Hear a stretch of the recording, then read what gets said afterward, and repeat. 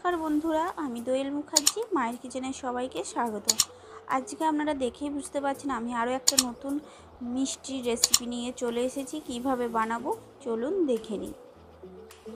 প্রথমেই আমি কড়াইতে এক লিটার দুধ গরম করতে বসিয়ে দিয়েছিলাম, আর দুধটা ফুটে পাঁচশো মতো হয়ে গেছে, আর আমি এখানে দুশো গ্রাম মতো চিনি দিয়ে দিলাম।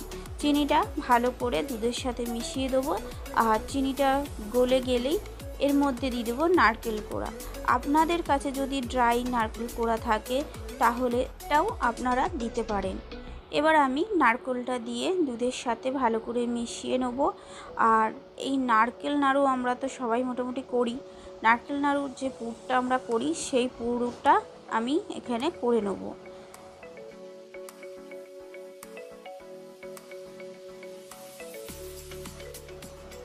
দুধটা যেই শুকিয়ে যাবে, তারপর আমি ফিরে আসছি।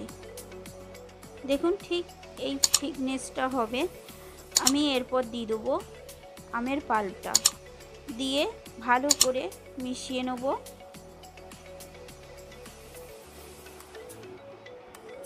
নারকুল আর আমের এই মিশ্রণটা কিন্তু খেতে খুবই সুস্বাদু। আমি ঠিক যেইভাবে বানাচ্ছি, আপনারাও বাড়িতে এইভাবে করুন। নিশ্চয়ই আপনাদেরও ভালো লাগবে। এবার এই মিশ্রণটাকে একদম আমি শুকনো করব যাতে একটা মিষ্টির শেপে আনতে পারি। এরপর থেকে আমি দিয়ে দিলাম এলাচ গুঁড়ো। এলাচ গুঁড়োটা পুরোটাই অপশনাল কিন্তু এলাচ গুঁড়োটা দিলে খুব সুন্দর একটা গন্ধ আসে। আপনারা যদি এলাচ গুঁড়ো পছন্দ না হয়, এটা স্কিপও করে যেতে পারেন। এবার ভালো করে মিশিয়ে আরও কিছুক্ষণ আমি মিষ্টিটা করে নেব। এবার এর ওপর থেকে দিয়ে দিলাম ঘি এক চামচ। ঘিটাকেও ভালো করে মিশিয়ে নেব।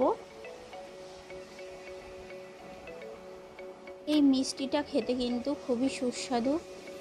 আর আপনারাও বাড়িতে করুন, আপনাদেরও খুবই ভালো লাগবে।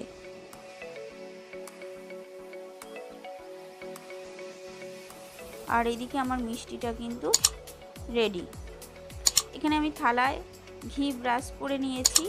সেই থালায় আমি এখানে মিষ্টিটা দিয়ে দিলাম। দিয়ে পুরো থালাটাই আমি ছড়িয়ে দিলাম। দিয়ে এক থেকে দু ঘণ্টা মতো আমি ঠান্ডা করে নেব। এক থেকে দু ঘণ্টা পর আমি আবার ফিরে আসছি। দেখুন আমি এক থেকে দু ঘণ্টা পর ফিরে এসেছি। আর মিষ্টিটা আমার এখানে ঠান্ডা হয়ে গেছে। এখানে আমি একটা ছুরি দিয়ে মিষ্টিটা একটা শেপে কেটে নেব। আপনারা আপনাদের পছন্দ মতো শেপেও কাটতে পারেন। আমি এখানে চৌকো শেপটা দিয়েছি। এবার এর ওপর থেকে আমি কিছু কাঠবাদাম দিয়ে দেবো।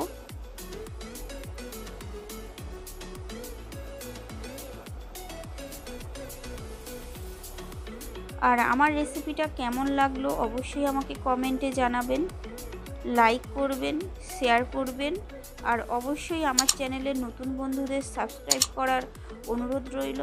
সাবস্ক্রাইবের পাশে থাকা ব্লাইক্যান অবশ্যই প্রেস করে দেবেন। আমি যখনই নতুন কোনো ভিডিও আপলোড দেবো, সহজেই নোটিফিকেশানটা পেয়ে যাবেন। নমস্কার।